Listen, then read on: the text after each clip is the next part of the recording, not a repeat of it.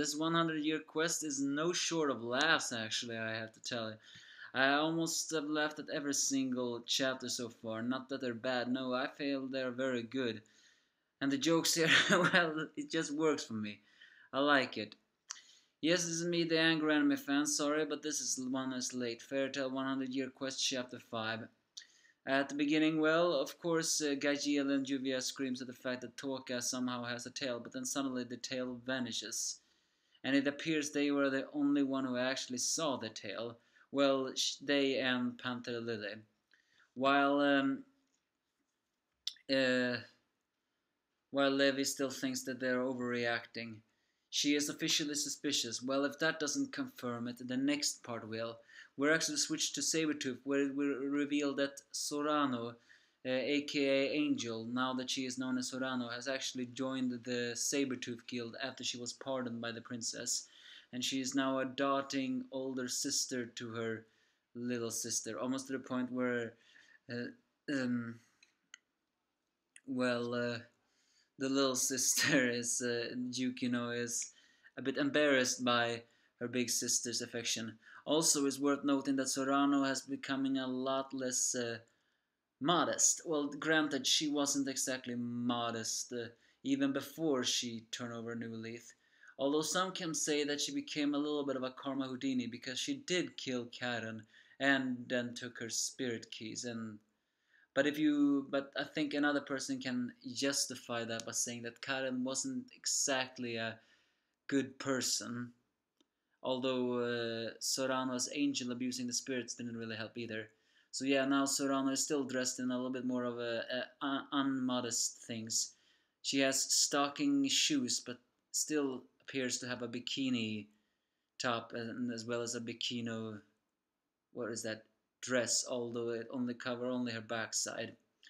And Jellal is visited as we also see Sting and Rogue, both of them looking more manly than ever, as they are, as they're saying that uh, Sorano is uh, happy being here, but a bit noisy. Of course she is. But Jellal is passing through because he was looking for a certain someone. Seems that even though he's pardoned, he still hasn't forgotten his mission. Well, given that he blames himself for a lot of things, it makes sense. And then he shows a photo of someone that Minerva teases him that maybe he found someone new interesting. And who is that picture? Well, there's none other the picture of none other than Toka.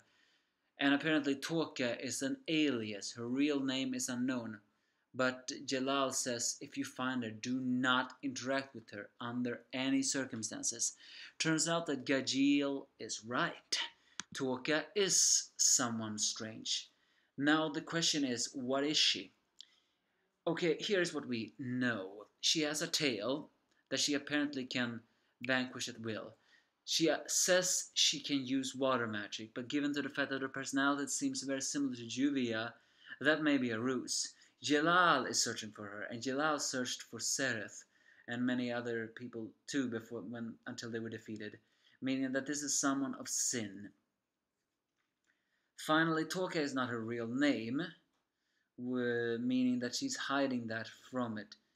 More than that, why is all the other Fairy Tail members were convinced about her when Gajeel and the other uh, Juvia and Panther Lily are so suspicious? Well, we cannot forget the fact that she mentions Briar's name the only connection I can do is that maybe this is a some connection to Zeref. I mean, Zeref is long since dead, but uh, what I meant to say is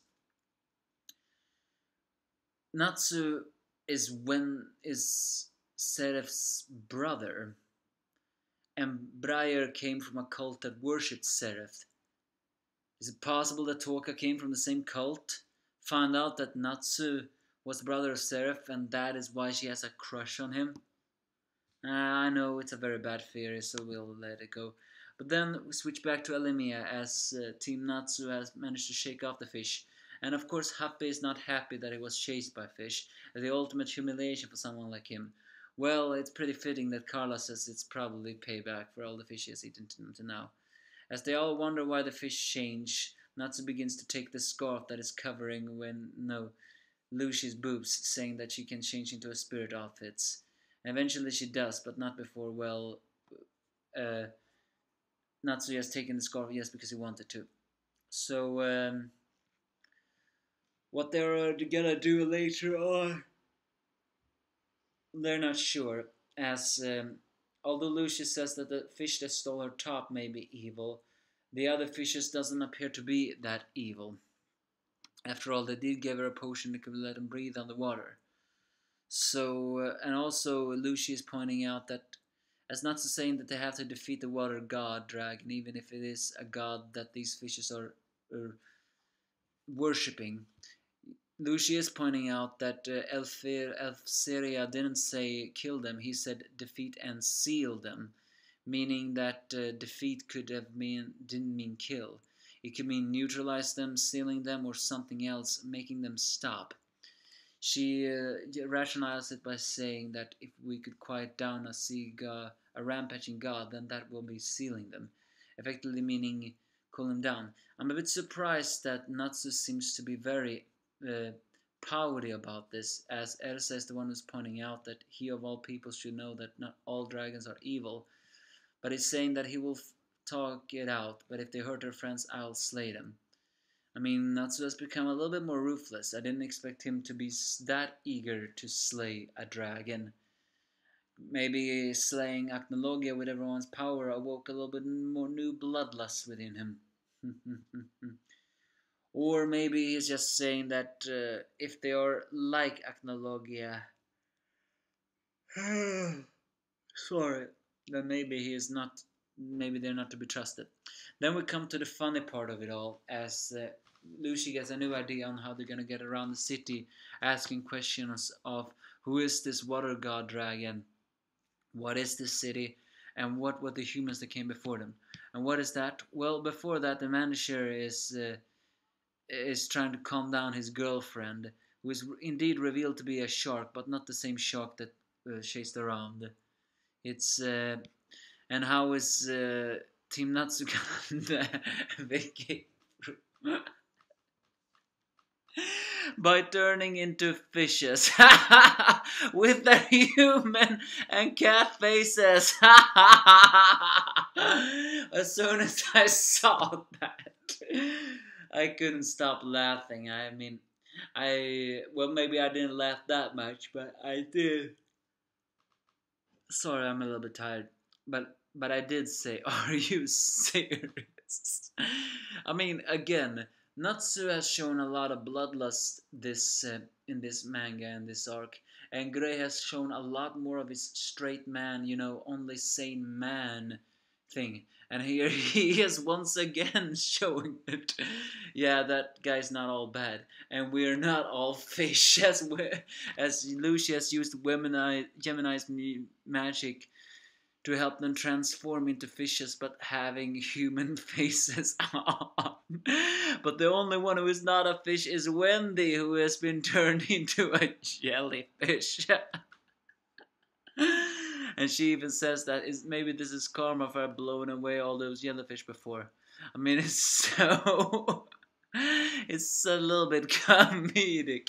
And Happy is, of course, not happy that he turned into a fish, seeing that he was chased by fish and now this. oh, I mean, it's it is kind of comedic. You have to agree. So they split up for intel. The manager approaches Gray and does not recognize him a single bit. As uh, Gray just casually asks what happened to the humans that I found the other day, as uh, Natsu actually sends the human, and they swings and find her chained in the cage. As the manager says to Gray that, do you forget we captured one? She will be sacrificed to the Lord Water God, as we see a new character with a new guild crest that we haven't seen before. At least I can not see. She's a sexy clad young woman with um, angelic disguises or something. The plot thickens. No answer is actually answered on who this water god is.